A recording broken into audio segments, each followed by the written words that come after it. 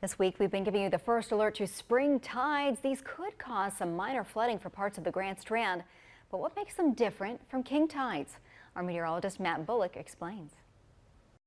Spring tides and king tides are very similar, but there are some differences. And explain the differences, we got to start with the basics. What creates tides? So we have Earth covered 70% of water and the moon. And with the moon's gravitational pull, that's what creates the high tides. And pretty much you get high tides on two sides of the Earth and low tides on the other two sides. So as the moon orbits around the Earth, that's the reason why we have two high tides and two low tides every single day.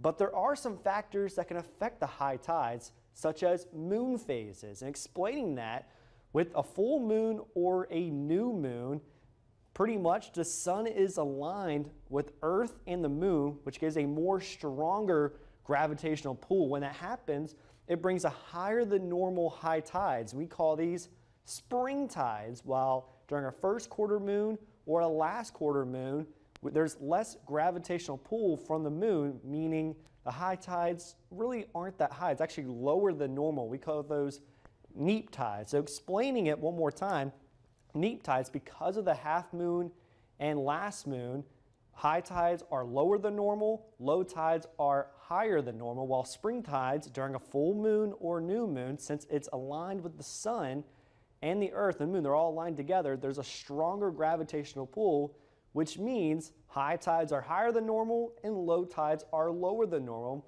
But there's other factors that can affect tidal heights, such as the moon's proximity to Earth can affect the tide heights. Kind of explaining that, as we look at the moon's orbit, it's not a perfect circle. You can see one side's a little bit closer, another side's a little bit further. And we call this apogee, and that's when the moon is the farthest away from Earth in orbit.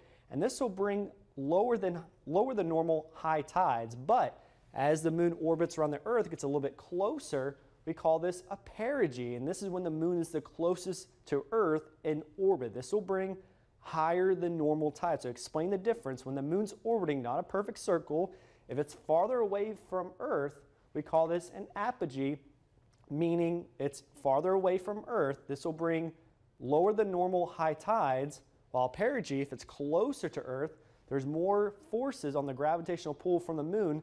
This will bring higher than normal high tides. So putting this all together, we talked about spring tides because of the full moon or new moon, this will bring higher than normal tides. But in the moon's orbit, if it's close to Earth, we call this a perigee, which will also bring higher than normal tides. And you, if you put those two together, you're going to get king tides. So basically, king tides are spring tides, but during a perigee, meaning when the orbit is closest to Earth.